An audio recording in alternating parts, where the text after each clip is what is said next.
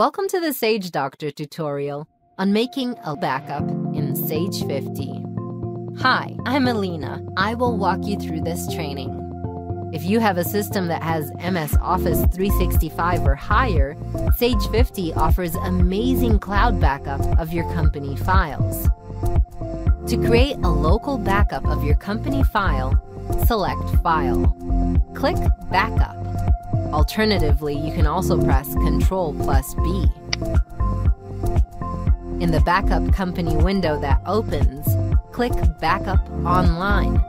If needed then, you might have a dialog box that opens up. A Cloud Backup window opens.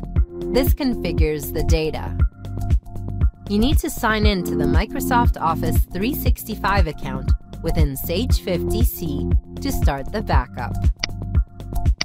Taking backup is a crucial step. Remember that accounting is a specialized job and always needs specialists.